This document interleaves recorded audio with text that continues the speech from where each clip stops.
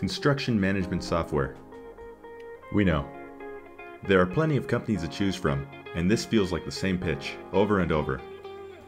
How about someone who just wants to help you take the headache out of running your business?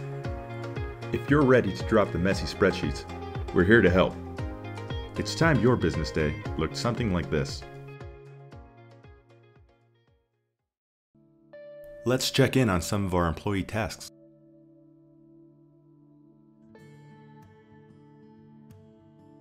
Within our employee task list, we can see that there are currently six tasks that are past due.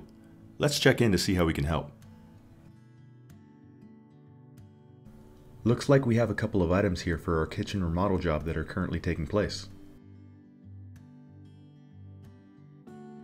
The first thing we're going to do is order the finished trim material for this particular job.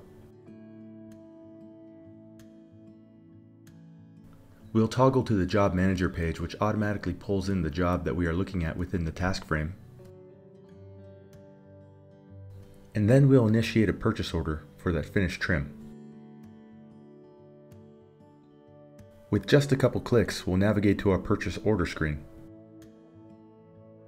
And then we'll place an order. In order to initiate the purchase order, we'll just have to fill out a few details. First, our vendor.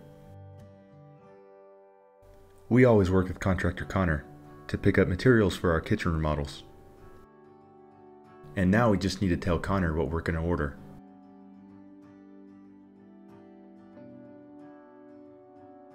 Connor's going to help us with our labor as well as our materials.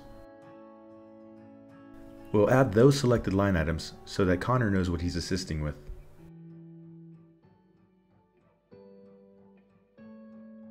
We also want to ensure that Connor knows when to show up on site as well, so we'll be assigning those tasks to him. And finally, we want to make sure that Connor is ordering the correct pieces.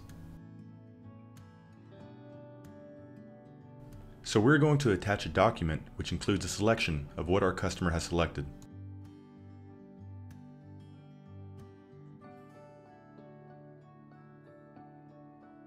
We're also going to make sure that Connor receives a copy of this.